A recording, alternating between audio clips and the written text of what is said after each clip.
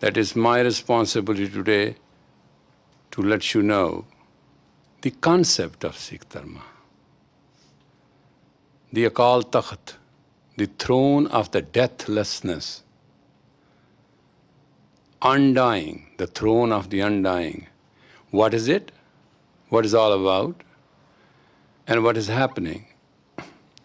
So you should understand and decide why you want to be a Sikh or not. I mean, don't just walk in and just try to be a Sikh. You Sikh dharma is not that you want to be a Sikh dharma. It is it's a practical consciousness. It's not something that you wear white or you wear blue or you wear orange and you do all that stuff and you can call yourself a Sikh. There is a certain concept of activity which is expected out of Sikh.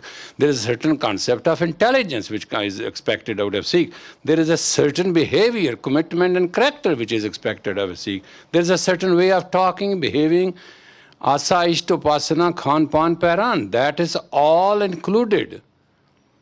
And then a Sikh has to be intuitive, he has to be successful, he has to be painlessly overcoming the hurdles. And where you get that energy? Today, in United States, everybody is freaking out. Nobody has commitment. Nobody has a character.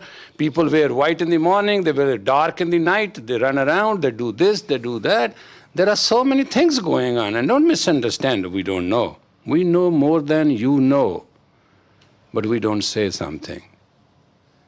What we are saying is to tell you the lack of intelligence, lack of character, lack of good habits are with you because parts you, you are animal, parts you, you are a human, and parts you, you are divine. There are three parts of you. Which part is majority, that part you are. When you are bitchy, you are itchy, you are disputing, you are fighting, you are quarreling, you are under the senses. And you are just behaving like an irritated animal full of fleas. And that's what you are. You are no different than my dog who's yelling, screaming, scratching himself because there are a lot of fleas in him. And that is your insecurities, fleas. I understand that I can't see your coat, but I must be blind not to see it. Your coat full of fleas and your body full of wounds and itches, your subtle body bleeding under the power of the infinity of pain is can be seen and is a human joke. And that's not that we are not worried about. We are worried about. We are worried about the soul which has come, which is the source of this body, which is holding you. You are nothing. Never you was, never you will be, neither you are. As a human being, even animals joke at you. Because at least they have one fixed concept. You have three concepts. But basically, majority of your behavior is based on your animal nature, the beast in you. And then once in a while, you reach to be a human where you have some kindness, some conception, some reality, some giving, some helping. You think you are a saint. Forget about it. You are not saint. You are just trying to be who you should be to begin with. Just a basic human nature. Basic. You call it saintliness. It's not at all. It's much less than that. It is just like a trained dog. Suddh sag. There's a word in spirituality in scripture, Suddha a trained dog. And you call yourself saint and you call yourself super religious and you call yourself, no, no, no. You are not yet touched the human. I'm not talking to you. I'm not yet reached that point. So please understand what basically the concept is. And then there is a divine in you which is very sacredly divided by you, which you are, what you are, who you want to deal with. You hate people, you don't like a lot of people, you have no openness of your heart to come and say, hug anybody. You value yourself on earth, on dirt, on dust of it. Your values and conception and projection are based on what you really understand, what your status on this earth is. My God, can you believe it? You have never considered your status with the heavens?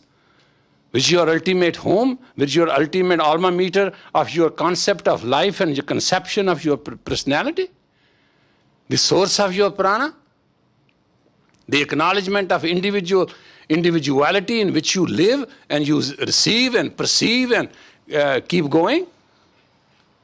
You know how dirty and ugly it is? Have you ever thought of it? And over and above that, there are 22 religions in the world, and you call yourself Sikhs. And being a Sikh, you are ruled by Akal Takht, the throne, the sovereign throne of deathlessness. Imagine that you are the subject in objectivity, you do not recognize death. Your personality is you can't even stand a hot wind. Your poverty is that you cannot meet a ordinary person. You are slave to your status. You are slave to your ambitions. You are slave to your conception. You are, you are a slave to your dreams. The state of consciousness which you present is totally environmental, circumstantial, earthbound. And you talk of heavens? Can you even spell it? You are the subject of the throne which is known as Akal Takht. Akal means where no call, no death. Throne of the deathless ever living concept you are seeking. Well, I have been a yogi, and thank God I was. And thank God I am. At least I can understand unitedly between heaven, hell, earth, and grace. And I'm sharing with you a thought. in the form of an animal, to be a human is a duality in itself. In the form of a human, to be a human is the base. And that base has to grow to seek to become a subject with the objectivity to make yourself to be under the deathlessness of the Akal Takht. That's what we are celebrating.